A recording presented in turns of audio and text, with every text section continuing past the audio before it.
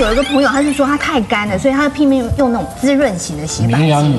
滋润型的洗发精洗是没有用的。没不行，因为你洗发精它是 detergent，它是一种清洁的用品，所以一样就是再怎滋润还是洗对，掉它还是把你弄掉啊，对，哦，减少了油脂。哎，那像刚才邱医师你讲那个方法，它还要再洗掉吗？要要对当然啦不然油了吧？是吗？它就是包一下，包个几分钟。对，因为它会接触到你的头皮嘛。哦对，然后再加上一个 occlusion，就是稍微把它用浴帽密稍微哎浴帽还有浴帽，对对，把它包起来，这样嗯很有效果。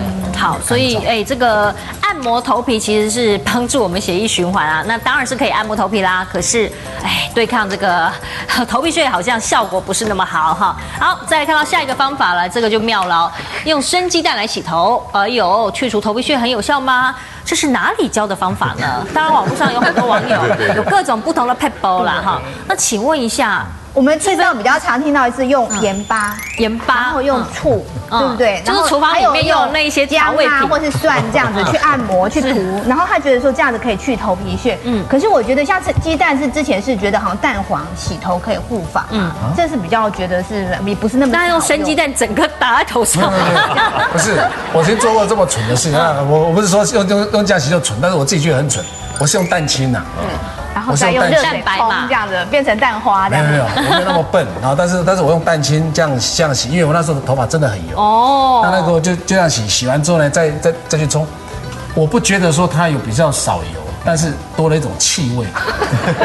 蛋清味，臭臭。我就不喜欢那个，就不喜欢那味道，然后你就得再去用那个洗发精润湿巾的。是吗再洗它不就多此一举吗是啊，所以后来我就不用了，因为但是我试过，我觉得效果并不好。是。那罗医师，你觉得这个方法？其实这个的话，应该是它对去除头皮屑的效果可能有限啦，因为它其实那个生鸡蛋我们是用蛋清，不是直接用蛋，对，是用蛋清的部分。那它其实是在做润发跟护发这个部分，还有像那个蛋里面一些氨基酸，像以前的人他没有像现在那么好的洗发精，直接就氨基酸洗发精或什么蛋黄洗发精这么营养的东西，那就是拿天然的一个成分。那这天然成分呢，刚刚有讲说造成头皮屑的原因很多，但是它这不见得是适合所有的。像刚刚如果是脂漏性皮肤炎，如果你是那个毛囊炎啊这一类的人，你有伤口的，其实就不适合用这些东西再去做清洗。他说这个部分的话，还有就是之前我有一个老师啊，他就是用那个那个鸡蛋洗头，然后头发非常漂亮。嗯然后，但是他后来他跟他朋友讲，就确实他是用热水冲，结果就冲就来变蛋花，蛋花汤来变头皮变蛋花就真的是啊蛋花汤。而且呃，还有就是，如果你自己用那个要用鸡蛋的话，其实不能太干，有时候太干的话，它有些洗不掉。哦，OK，这个这个哦我我的看法是这样的，是呃是算网络的流传的谣言啦，没有什么医学上的根据。是对。那嗯但是你说用会不会造成不好的影响呢？除非说你蛋弄上去以后没有洗干净，造成它腐化了哈，酸臭那种，对不对？那当然对头皮会造成伤害。否则基本上来讲，用一用再洗掉也没有什么大碍。应该是还好啦，然后除非你头皮上有伤口，就不要去试哈。头皮上有伤口或是脂漏性皮肤炎啊、毛囊炎这些，应该会越洗越糟吧？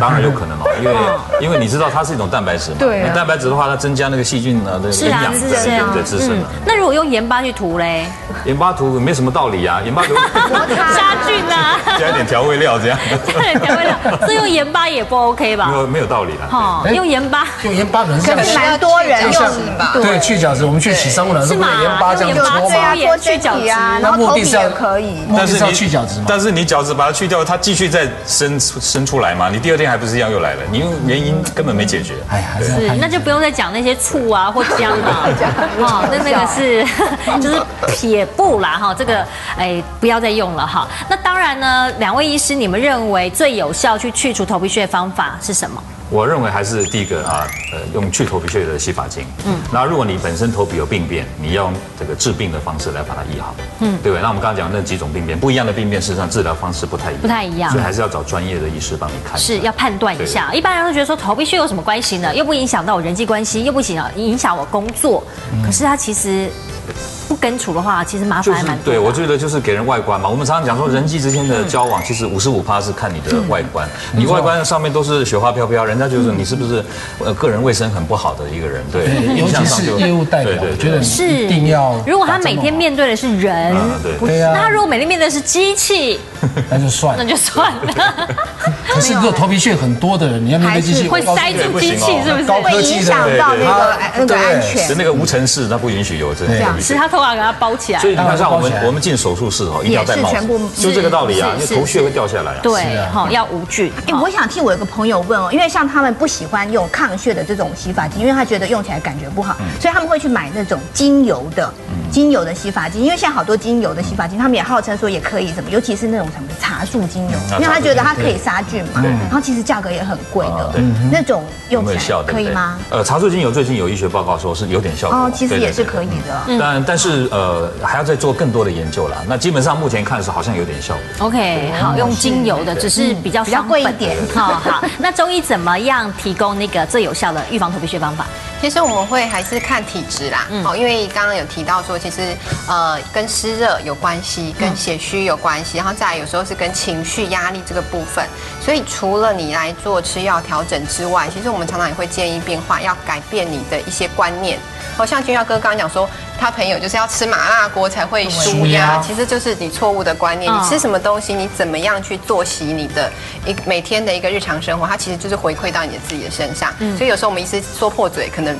病人听了他不改变的话也是没有我就觉得我就是这样子的人，这样子。所以其实要从真正自己健康的观念做起。是好，那如果有些人体质是真的，一吃那种比较燥热的东西就发了的话，那可能就要尽量避免。对，其实有些人吃再多也不会发。对对对，那是体质嗯，他的阴阳身体阴阳不平所以。我我常常讲说，其实你的身体会讲话的，你知道吗？你你你吃了什么有反应，那就告诉他已经在告诉你不要再做了，你还硬要做下去，那是就就没有办法。好好，那今天的健康问诊是是五十岁的徐妈妈，来自于台北。她请教我们的问题是，她有一个女儿念高中哦，因为有头皮屑的困扰，所以都不喜欢留长头发。她觉得短发头皮屑看起来比较少哈，所以呢，他觉得有点心疼。他想请教医生，头皮屑跟头发长短会有关系吗？他女儿现在青春期嘛，嗯，因为青春期的后半段了，高中了哈，怎么改善头皮屑的问题呢？对，我们刚刚不是讲嘛，你就算理光头了，你还是会有头皮屑。是啊对 所以所以赶快带给带给医生看一跟下。头发长短当然是没有关系，只是说头发长会粘到比对较后面，粘的比较多嘛，看起来好整个头发都是